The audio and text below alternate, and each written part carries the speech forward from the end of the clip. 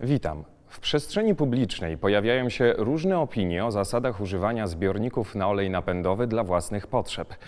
Zdarza się, że są ze sobą sprzeczne i z całą pewnością brakuje kompletnej informacji na ten temat.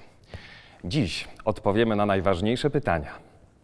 W naszym studio gościmy pana Włodzimierza Ziętarskiego, dziennikarza i eksperta branży motoryzacyjnej. Dzień dobry. dobry. Dzień dobry. Panie Włodzimierzu, e, jakie są obowiązki dotyczące rolników z zakresu przechowywania oleju napędowego?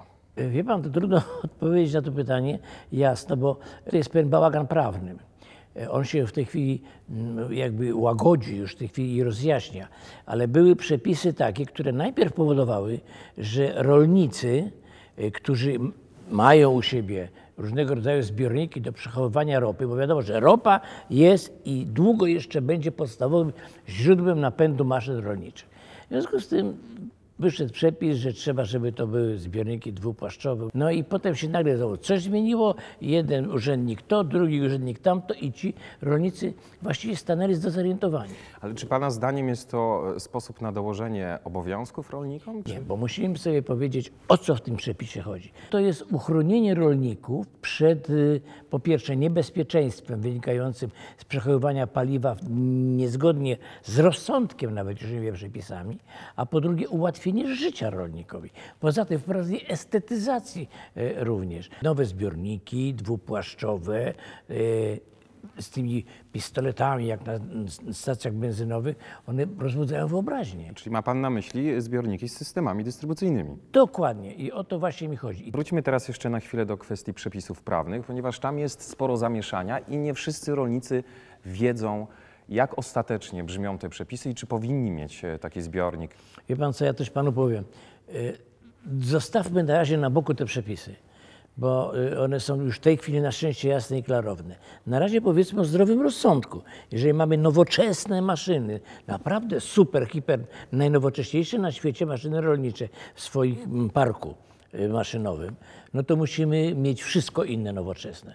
Y, Dlatego też posiadanie zbiorników nowoczesnych, dwupłaszczowych, naziemnych jest wymogiem podstawowym, rozsądku. Ale minister, żeby to wszystko wreszcie wyklarować, żeby stało się totalnie jasne, bez żadnych domówień. Minister Spraw Wewnętrznych i Administracji w 2010 roku wydał rozporządzenie, które mówi wyraźnie, nie to, że chcemy mieć, musimy mieć takie zbiorniki dwupłaszczowe, pełni bezpieczne i ekologiczne e, i, i praktyczne na podstawie tych przepisów, czyli do 5 tysięcy litrów możemy mieć tego rodzaju włącznie, do 5 tysięcy litrów włącznie taki zbiornik e, e, może mieć pojemności. Natomiast to, że mamy go mieć, musimy go mieć i tylko tak możemy przechowywać paliwo, to jest już nareszcie jasno powiedziane. I cały czas obligują nas do tego przepisy z roku 2010. Dziesiątego, które to porządkują w jakiś sposób. I teraz wie pan co, największy błąd, jaki został zrobiony, to, że te przepisy kiedyś wydano i one do rolników nie dotarły we właściwej formie. Inni kupowali, inni uważali, że można, że nie trzeba, że tamto, że owo. Teraz wiemy ja to, że jedno, trzeba mieć taki zbiornik, jeżeli przechowujemy paliwo. Czyli to, żeby zbiornik był wielkości do 5000 litrów, to jest jedyna rzecz, o której powinni pamiętać rolnicy? No, to wiadomo, że jest graniczna. Nie może być większy. Natomiast ym, mamy tutaj dwie wielkości i zapamiętajmy je bardzo dokładnie. Zbiorniki do 2,5 tysiąca litrów łącznie nie muszą być rejestrowane. Natomiast pomiędzy 2,5 tysiąca a 5 tysięcy muszą być rejestrowane i Urząd Dozoru Technicznego będzie to kontrolował, żeby broń Boże nie stało się jakieś nieszczęście. Nie dlatego, żeby brać pieniądze za to, bo nie. Chodzi o to, żeby było bezpiecznie, mądrze i elegancko. Panie Włodzimierzu, zatem raz jeszcze podsumujmy, żeby nasi widzowie mieli pełną jasność w tej kwestii. Zacznijmy od tego, że tak, jest nowoczesna motoryzacja, jest. Pamiętamy i oglądamy piękne maszyny, tak, zachwycamy się nimi, ale nikt do tej pory tak na poważnie nie myślał o zbiornikach, gdzie przechowywać paliwo. I, no i teraz mamy ten etap, że wiemy, że musimy, bo tak decydują przepisy, żeby paliwo w gospodarstwach rolniczych, ale zresztą nie tylko, e, przechowywać w zbiornikach naziemnych, dwupłaszczowych. I mamy teraz tak, przypomnijmy to jeszcze, jakie mamy pojemności.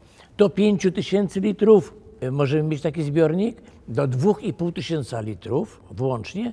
Nie musimy go rejestrować, ale kupić musimy. Natomiast Jak rolnicy usłyszeli, że je trzeba rejestrować, to, no to nie trzeba kupować. No nie, no trzeba kupować, no bo po to to zostało zrobione. Tylko dla ułatwienia, jak są mniejsze e, gospodarstwa, no to do 2,5 tysiąca nie musimy go rejestrować. I tego się trzymajmy, no.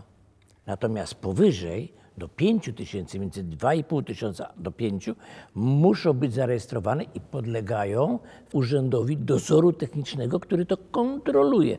No wie pan, to jest kawał pojemności już. Jestem przekonany, że teraz już nasi widzowie mają pełną jasność w tej kwestii.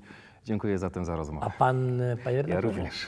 Ja, proszę państwa, powiem państwu też, bo bywał taki czas, że jak te przepisy były takie mętne, to już nie wiedziałem, o co tu chodzi. Jestem spokojniejszy, jak wiem, o co chodzi. I my również wiemy, i ja, i Państwo, jestem o tym przekonany. Zatem bardzo dziękuję za obecność, dziękuję za Dziękuję rozmowę. bardzo. I do zobaczenia. Dziękujemy Państwu.